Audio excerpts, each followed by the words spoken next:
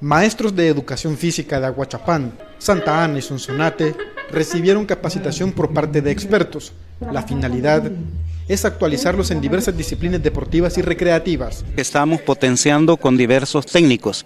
En el caso de los maestros mexicanos van a apostarle a la parte de educación inicial y parvularia, pero también tenemos otras disciplinas que queremos impulsar, como es Athletic Kid, tenemos la parte de fútbol, voleibol, balonmano, ajedrez, en distintos escenarios. Los capacitadores son expertos en distintas disciplinas deportivas y recreativas, quienes provienen de Alemania, España y México. A compartir un poco de nuestra experiencia laboral y venimos con temas de psicomotricidad, de matrogimnasia y todo enfocado a la educación especial, que es lo que nosotros nos desarrollamos. El propósito de las capacitaciones es brindar una educación integral a los estudiantes. Un aproximado de 350 docentes se verán beneficiados con esta actividad. Y por espacio de tres días, el evento se estará desarrollando de forma simultánea en San Miguel, San Salvador y Santa Ana.